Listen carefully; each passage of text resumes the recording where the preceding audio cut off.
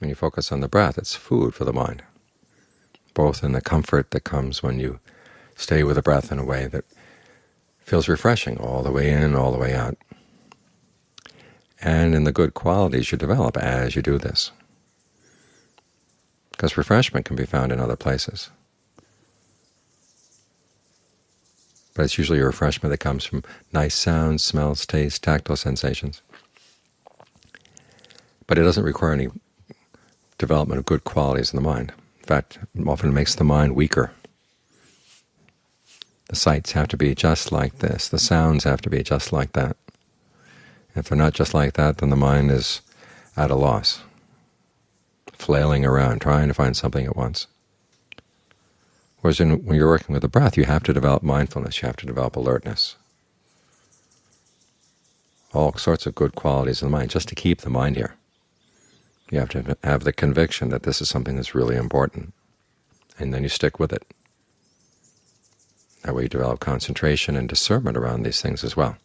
And those are the qualities that are actually real food for the mind. Those are the things that really strengthen it. So when you tell yourself that you're too tired to meditate, and you ask yourself, are you, are you too weak to eat? No.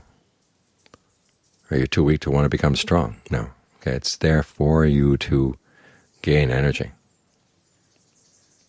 Working with the breath gives energy to the body, but specifically working with the breath can give energy to the mind. That's the most important food there is, because the body, after all, wastes away. You look at the body today, look at it in the mirror today, and it's very different from the mirror last year. And it's only up to a point that things get better and better as you look in the mirror, and from that point on they just get worse and worse.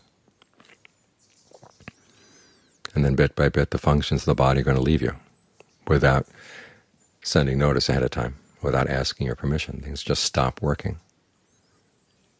So if you depend on the body for your strength, you're going to be disappointed in the end. But if you depend on the mind, that's something that can carry you all the way through.